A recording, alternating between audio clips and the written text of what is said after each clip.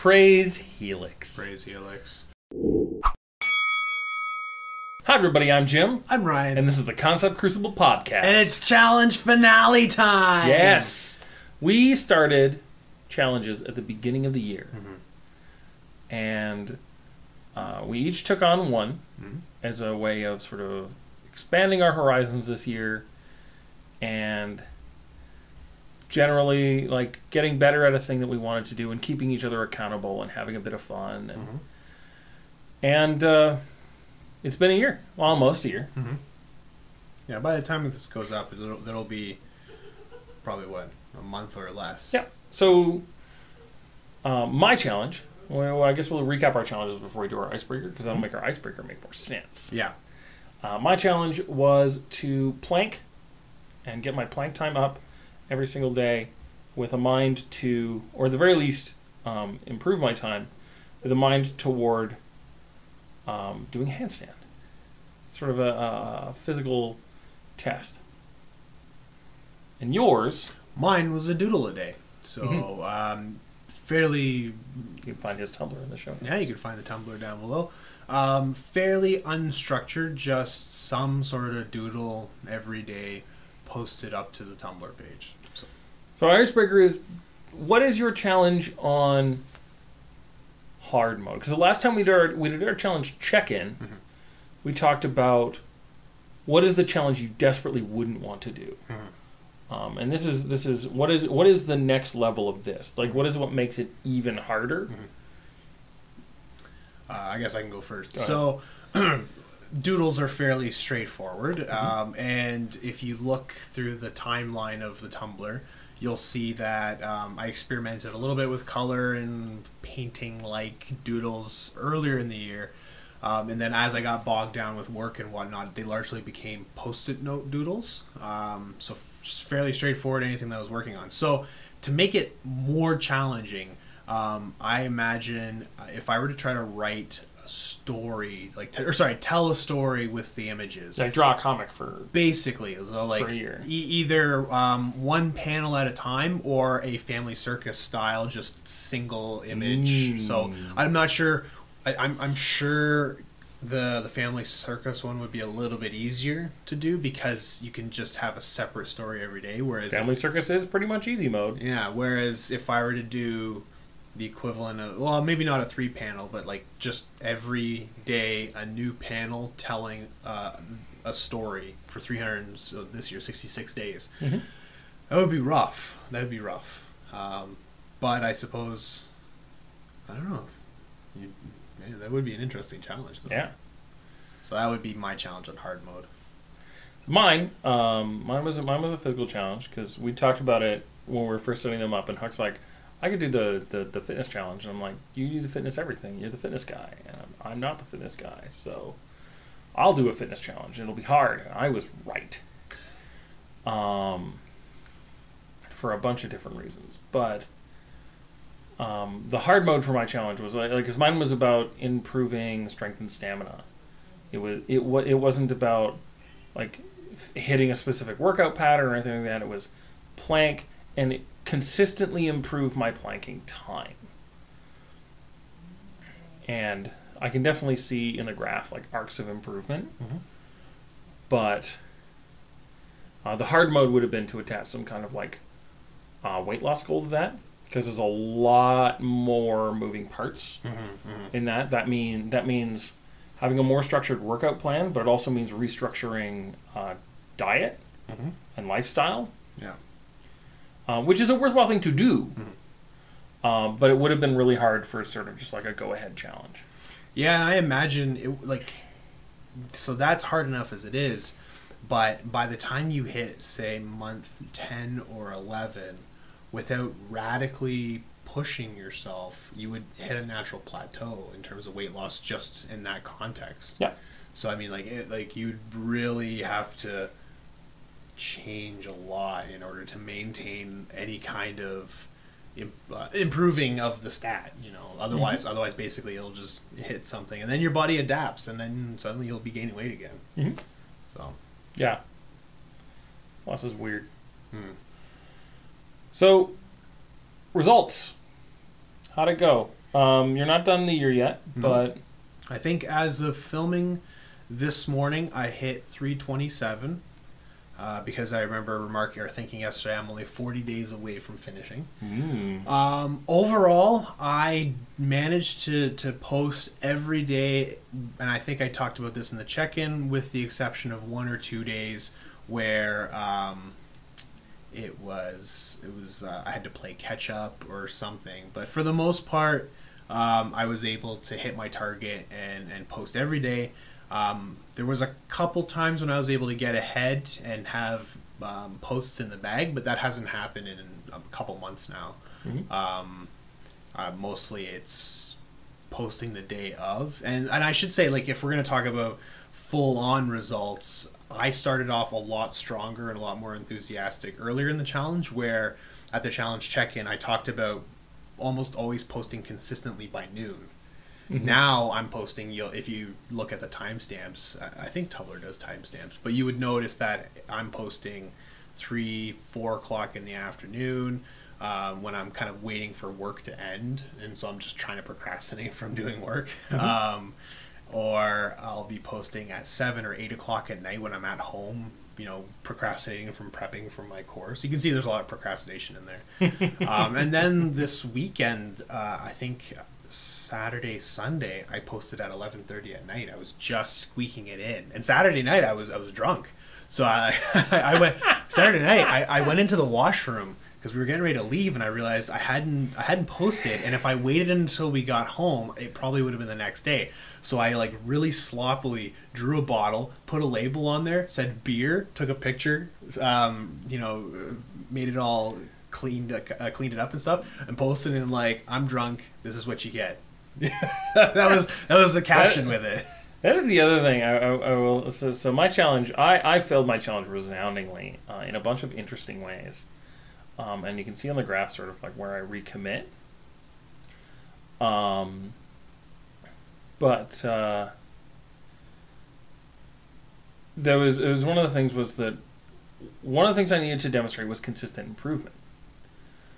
Um, so further into the year, I can't just be like, oh well, I planked for 15 seconds or I planked for 20 seconds. Like I was up to two, two, three minute or, or, or three minute planks uh, across multiple sets uh, and stuff like that. I was experimenting with a bunch of different planking styles, uh, none of which shows on the graph, unfortunately. But it was just sort of a, a way to, um, because I was doing a couple of different planking challenges, and it was a way to improve my uh, general fitness for that. So things like side planks, Spider-Man planks, um, you know, one-hand planks, things like that. One-hand planks are super hard, by the way. I bet. Like, Jesus. I weigh like 350 pounds. um. So yeah, like, like and and part of that I think weighed on me is the notion that not not only do I have to do it, but I have to do it longer, and it's going to be harder than it was yesterday. Every every day gets more difficult. Mm-hmm. Um, I think I tried to I tried to push it when- whenever I was pushing. I tried to push for five more seconds a day, mm-hmm. and then I would cheat by whatever my timer was set to. I would try and hold it for five seconds longer than that, mm-hmm. which I picked up from working with a trainer. Is that always try and go a little farther than you think you can, because it reminds you that you can keep doing it.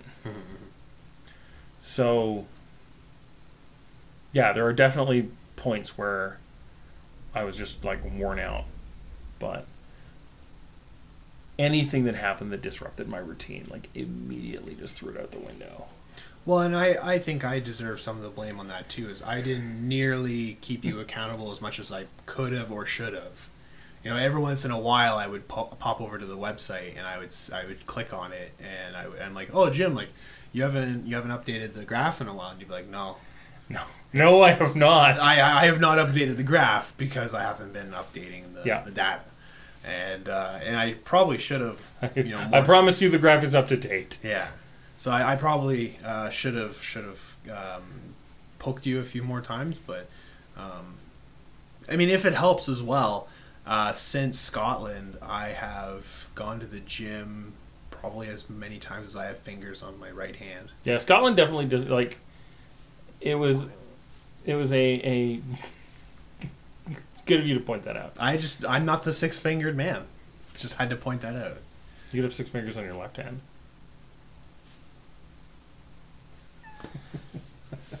oh dear, Our audio Um, only listeners are confused right now. that seems fine. Yeah. Um, no, Scotland was definitely a big sort of disruption to like all my routines. Yeah. And I did a bit of other traveling that much month too. I was at Convergence, Yeah. and like I don't deal well with disrupting. I, I like things that disrupt my routines to the point where like when I travel, I the first thing I do when I like settle in a hotel room is like immediately establish new routines. Because otherwise, I just don't. You know, I, my whole life falls apart. Um, Uh, you're not alone in that. I mean, No. my fitness routine fell apart. It's like Scotland disrupted it, and then I started teaching, and that was the huge disruptor. And I- I've been joking around with you a little bit that I finally found the, the the point in which I think I've overcommitted a little bit too much. which is three jobs and a bunch of volunteer work. Yeah. So, um, yeah, I I realized that the first thing to go, and this is one of those interesting reflection pieces, like when you reflect on your priorities, fitness was the first thing to go. Um, and actually, really, I, I walk it back that sleep was the first thing to go. Fitness naturally dis- disappeared from that, and other healthy decisions. So, I mean, I learned something as well. But as related to the art challenge, I don't know. It's like my challenge was ridiculously easy relative to yours. So, I feel good about that. I, Thank I- you. I almost feel bad, like, like how easy it is for me to just. I mean, some some days I don't know what to draw, and like it's you know kind of a bullshit doodle because I need to post something. But like it's so easy for me to to do anything, um, just putting something to paper, taking a picture. As long as I have a Wi-Fi signal, it's good. Mm-hmm. As opposed to like committing to some sort of quality standard. I think that would have made it a little bit more challenging for me. But And uh, like I was hoping, I was hoping to get up to a five or six minute plank. I discovered around two minutes, two and a half minutes, that half the problem with planking is that you start to get bored because you're just sitting there, and like you're thinking about the physical strain you're undergoing, Mhm. and I'd try and watch videos or like listen to podcasts and stuff, but it wouldn't. It would distract me from my form, which meant I'd have to refocus on my like. like I didn't. I don't, and I don't think I ever hit a, a comfy medium with that. did you never listen to music? Um, I don't typically listen to music when I'm working out, mostly because I'm bad at it. Mhm. At like organizing the playlists and stuff. Um, but and all and, and like the places that I work out are alternately um, in this in my apartment uh, where I have roommates, and it's five in the morning, Yeah. which means that if I make a bunch of noise, my roommates are going to murder me. Uh, or in my workout room downstairs, because my apartment building does have a, an exercise room, which is really just like a storage closet with some stuff in it. Yeah. But um, there's a big, huge fan in there Yeah. that feeds into our building's HVAC system, and it's it's just it's so loud. You can't hear shit. Good excuse to blast heavy metal then. Basically, yeah. But uh, no, I, I definitely I definitely think that there's uh, there's ways I could have improved that. But I knew that by picking that challenge like that and making it hard, I would either step up or learn something. And one of the things I learned too is is is the way that I prioritize time. So for me, I never sacrifice. I almost never sacrifice sleep. I sleep for like six and a half, seven hours a night, and I'm very sort of particular about that mm-hmm. because it's basically the minimum amount that I can like sleep and be a functional human being. Yeah. You know, I get up at five, and the idea is I get up at five, I work out for an hour, and then from six to eight, I write. Mm-hmm. But the place where I get wiggle room on that, like if I if I need more sleep or, or something like that, is between five and six. Yeah. And then my response to that wasn't to cut away writing time, it was to skip fitness time. Yeah. And so part of that goes back to the, the notion that like that is the time I'm willing to compromise on. Yeah. And that is a thing that I need to sort of realign in my priorities. Or at the very least I want to realign in my priorities. And it was a thing I didn't know until I spent a year tracking it. Yeah. I mean, I probably I, I knew after spending two months tracking it, but I, I tried a bunch of different like, and you can see in the graph where I'll like I'll try a bunch of different strategies to like adjust Yeah. and to recommit. Uh, exercise for me is definitely a consistent process of like self forgiveness and recommitment. That's and I, only way to I hope, yeah, I hope that that is true for basically everyone, unless you're like a super cool fitness person and that's just like your whole life, like, like uh, an integral part of your life. Mm-hmm. Uh, in which case, I don't know how you do that. Yeah, uh, going off the art challenge for a second, um, with working the multiple jobs and whatnot, I realized maybe next year one of my, my personal challenges will be to focus more on sleep. Um, and that, That's that's a challenge I can work on. yeah, so I mean, like just for example, today uh, before we started filming, uh, I picked up an indoor light timer from uh, Canadian Tire. With uh, I'm going to attempt to to see if I can trick myself. I have very poor. I've I've, I've got very good acrasia, a very good weakness of the will, um, and so I have a really bad habit of staying up late and you know surfing the web. YouTube is kind of my crutch. It's the thing that, that I, I sit there for hours and do, um, and so I think I might hook up my router to a light timer and just shut off the internet at a certain time, and, and I, I think next year I want to focus on on better sleep habits, which is really tough because I still work at a bar. Yeah, so your your your your work schedules are really awkward. Yeah, where Yeah. like mine mine is at least consistent, Yeah. and if I'm up until you know midnight or something, then it's usually because I have made an error. Mm-hmm. Um, because I also like I, I rarely find find myself in a position where I can't sleep. Mhm.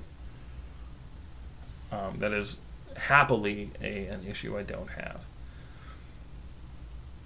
But no, I think that that I, I, I do not have a sleeping challenge for for next year. If my if I have a personal challenge for next year, it is do more.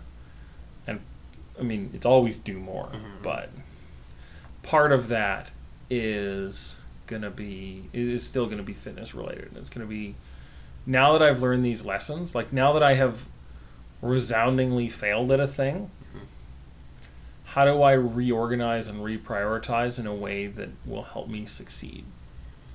Uh, I think you can tap in uh, just as a, a, a early sketch. You can tap into what made mine successful. Is it had very clear um, success conditions that Mhm. were very um, transparent in terms of how to how to approach it. Um, and I found with fitness, it was the same deal right up until so. That, and that's the thing is the the strength of my fitness routine was ultimately tested when you add a little bit of resistance to it, and that's where it crumbled. It crumbled after Scotland, and it crumbled in the face of of uh, teaching. Um, so I, I learned that I need a, a more robust system that doesn't rely necessarily on the gym, but doesn't necessarily rely on willpower either. Like I, I haven't cracked that nut yet, but through the art challenge, I found that having you know a consistent deadline, um, it was very small and incremental, so it was easy to stick with. Mhm. Um, and once you got the chain going, it was really easy to um, not break the chain. And there was an accountability built into there because like I was posting a daily thing. Yeah. It's not like it's oh I have I have to meet it three times a week and there's seven days in a week, so I can if I miss it today I can do it tomorrow. It's no, it was a daily thing, and it was very obvious when it when it would when I would have missed the deadline. Yeah, definitely one of the things I noticed is um, I'm less and less committed to to like uh, my building is a pool and an exercise room, and uh, part of it is like I'm just generally super self conscious. But when you, typically when you're up at five in the morning, um, no one else is awake, which is wonderful. But I found myself focusing on, on body weight exercises and things like that rather than uh, like using the weight machines. Um, I don't I don't use free weights unless I have a spotter, or uh, like bench pressing or Mm. things like that. Mm, no, no, I mean, that Um, makes sense. That's safety. So Yeah. So, I mean, there's a there there's definitely a point where I'm I'm happy to like bench press you know twenty pounds or thirty pounds or whatever Mhm. without a spotter, and I know that I'm not gonna you know drop it on myself and kill myself. Yeah. But I mean, I've been, I got trapped under the bar once. I was benching 185. yeah, and and I got pinned on the bench, and thankfully, uh, I mean, I was I rolled it most of the way down my gut and tried to play it off cool, but it didn't quite work. So thankfully, there was a guy I don't know a bench over or something who saw it and helped to re-rack it for Yeah, me. like happily my you know my exercise room has cell reception, so I could like phone somebody. But no, it's it's one of those things where what I and what I want to be doing is is pushing my limits. Like working with, if there's one thing working with a trainer showed me, it's it's what it feels like to hit my limit, um, fitness wise, and and to know when I when I when I can't do any more, and to understand what those limits are like Mhm. and how to push past them. Mhm. So that is that is a feeling that I am that I am trying to chase on my own because it's discipline that I need to develop and maintain on my own. And uh, one of the things I learned from my challenge is I currently don't have that.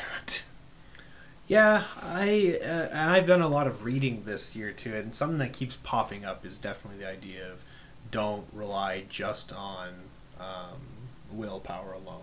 No. Like you, you have, um, and we've talked about this in various other podcasts in terms of like don't trust future Jim or don't trust future Ryan because they're they're they're gonna slack off when you hit the the present mode, right? So I mean, Yeah. like it's you have to really learn to plan against your not your specifically, but you have to really learn to plan against those uh, regress regressions to the mean.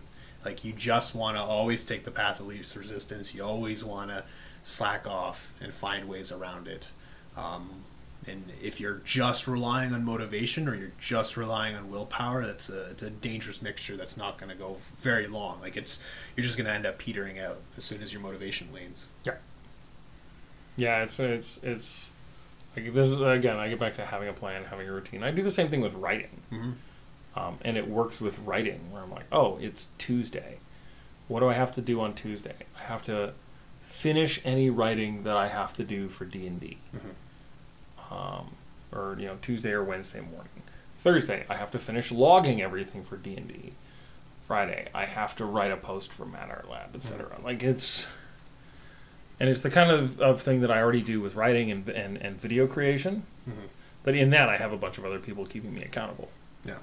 Um, exercise happens at five in the morning in the dark. well, not typically in the dark, but Maybe you need to resurrect the conspiracy of action. oh man, that was a good time. That was a good time. A lot of people There's a lot of work. baking at that time, baking and cooking. Yep. But uh, so we are going to do a challenge next year. Mm-hmm. Do we want to announce what that is, or do we want to wait?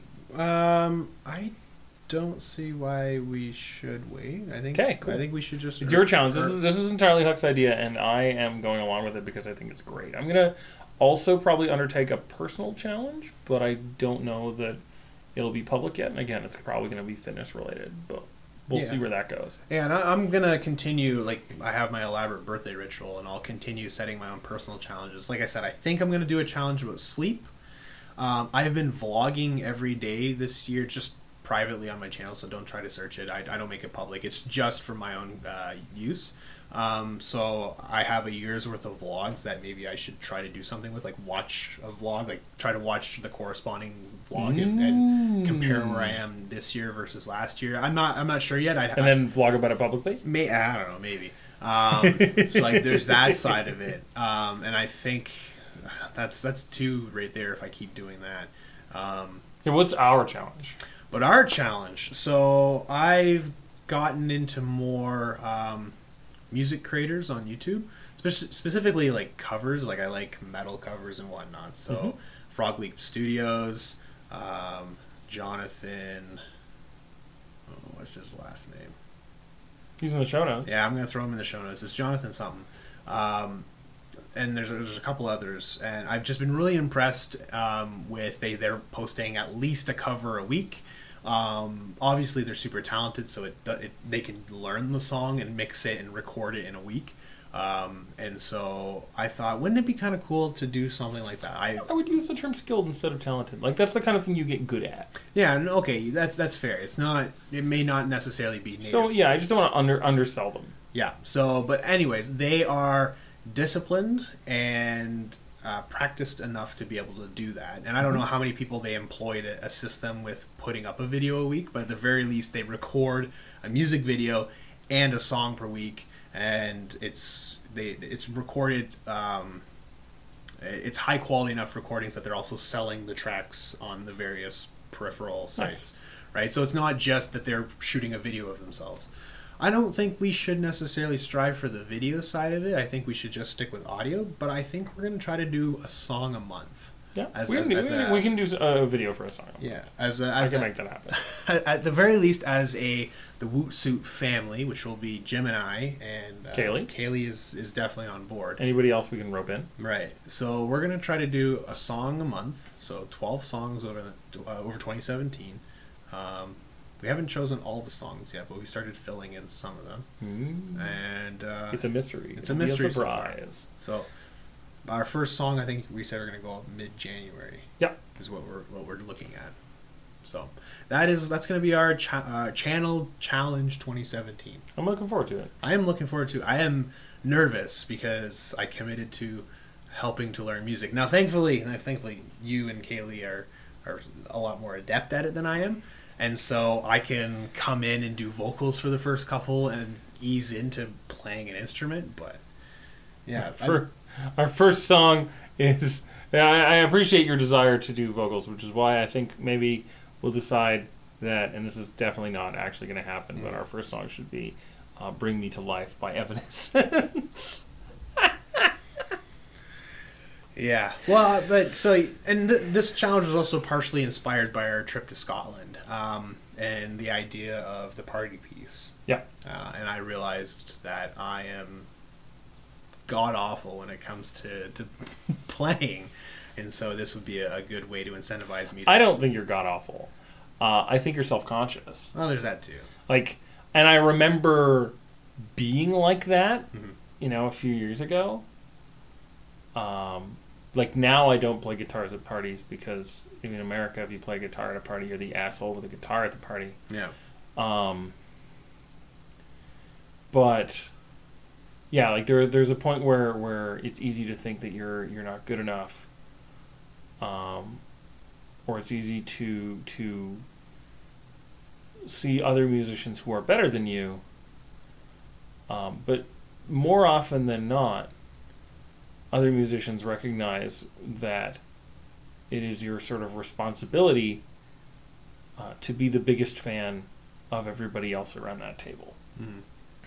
So, I mean, and I got that experience in Scotland as well, playing with you know people who've been playing the mandolin for sixty years and who have like levels of. I, I got a real deep look Mhm. into what mastery actually looks like Mhm. and and where I stand in relation to it, and it's miles and miles away, but it's not nowhere. No. So yeah, 2017 will be a music challenge. Wow. And we're going to go over the details of that uh, in the new year once we have firmed up what those details are. Yeah. So, um, I want to know what challenges you're going to undertake. Um, what challenges you have undertaken, what challenges you've faced, things you've things you've succeeded at, things you've failed at, because it's, it's an exciting thing to talk about. Mm-hmm. Uh, so you can leave that in the comments. Uh, you can find us on Twitter and Facebook and at wootsuitriot.com. Hmm. Huck's Twitter is in the show notes, as is mine, so you can feel free to heckle us individually or collectively. And uh, I'm Jim, I'm Ryan. and we're signing off. Stay awesome. Stay awesome. Maybe the moral message is the unexamined life isn't worth living. I don't get a, I'm getting the feeling that most of life isn't worth living at the moment. That's not true.